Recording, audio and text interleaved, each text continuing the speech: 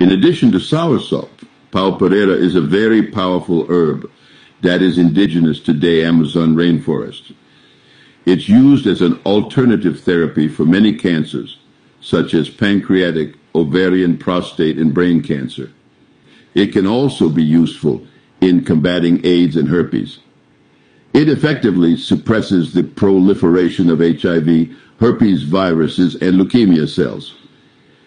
When applied to a line of cultured cancer cells, the extract significantly and quickly suppress cell growth. It caused cancer cells to die. It also caused a significant decrease in the overall tumor size.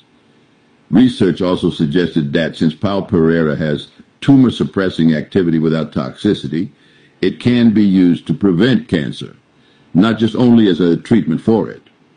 The alkaloids from Pau Pereira have a toxic effect against certain cancer cells, however, with no such effect on normal ones. Brain cancer is very difficult to treat.